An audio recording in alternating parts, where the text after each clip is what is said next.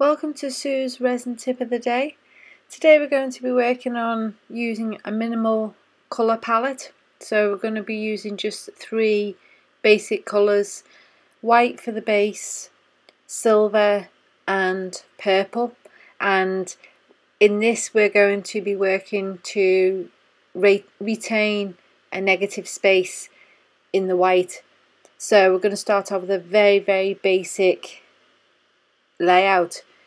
So as you can see we just poured a wavy purple line and a wavy line of silver.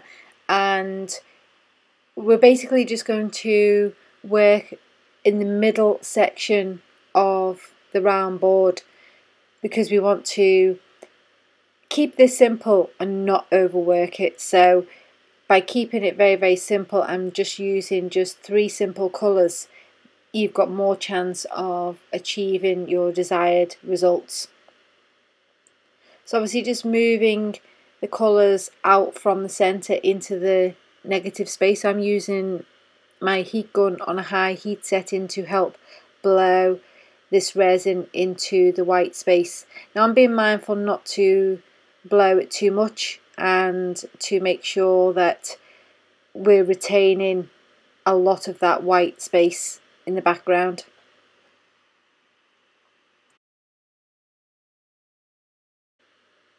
Notice that any other colours that I'm pouring I'm restricting it to those two areas where we first laid down the colour. I don't want to overwork this in any way, shape or form so we're just going to make sure that we keep the colours within the, the same area. And I'm just laying colours on top of colours and then I'm going to use the heat gun to blow them around ever so slightly.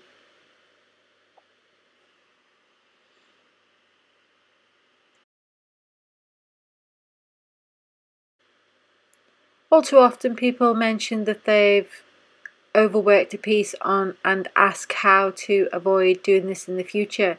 So if you just stick to just using three basic colours and just restricting the area in which you work, then you're less likely to overwork it.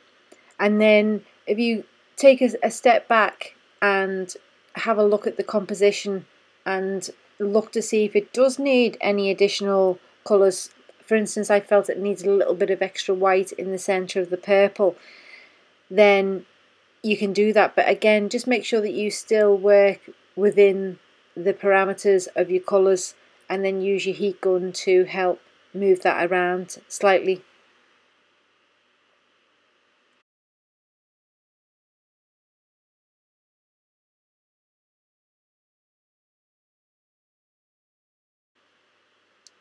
So once you're happy with that, actually step away from it and leave it for about 10 minutes and then come back and do your fine detailing. So here I've come back and I'm now adding some extra heat to help break this up to create some of the cells and lacing. Now many people make the mistake of trying to create this in the first hit and it doesn't always work that way. Sometimes you have to leave it to sit for about 10 minutes so that it's not flowing so easily so that when you come back with your heat you can actually help break that up. So as you can see this heat is helping to create the extra cells and lacing. Now I wouldn't have been able to achieve this if I had just done this initially on the, the initial pour. So I've had to let it, allow it to sit for 10 minutes before I could achieve this.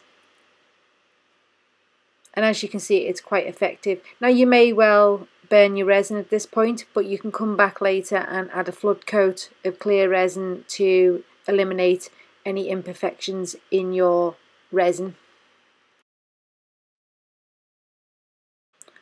So once you're happy with that, it's then time to come back in and add your embellishments. So as you can see for this one I've added mirrors and the usual gems and acrylic diamonds.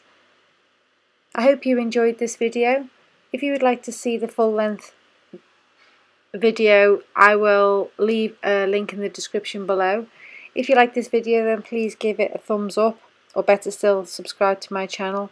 I'm going to be bringing you plenty more resin tips of the day so stay tuned for the next episode and I shall see you soon. Bye for now.